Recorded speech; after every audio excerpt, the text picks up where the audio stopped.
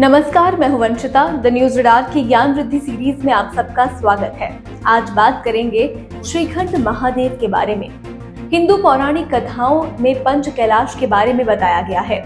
तिब्बत में कैलाश मानसरोवर, उत्तराखंड में आदि कैलाश और हिमाचल प्रदेश में श्रीखंड महादेव कैलाश, मणिमहेश कैलाश और किन्नर कैलाश। इन पाँच कैलाश को भगवान शिव का पवित्र निवास माना जाता है, जहाँ वे रहते हैं और ध्यान करते हैं।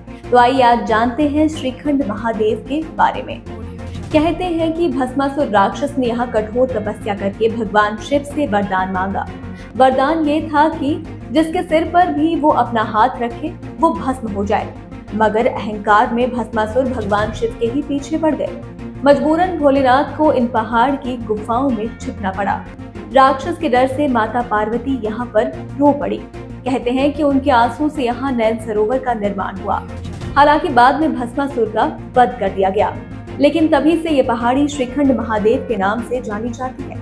यहाँ शिव भगवान की एक शिला भी है, जिसे देखकर लगता है कि हम आसमान में ही पहुँच गए हों।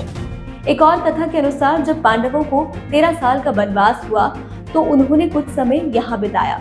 इसके साक्ष्य वहाँ भीम द्वारा बड़े बड़े पत्थरों को काट कर रखना बताया जाता है। उन्होंने यहाँ एक राक्षस को भी मारा था, जो यहाँ आने वाले भक्तों को मार खाता था।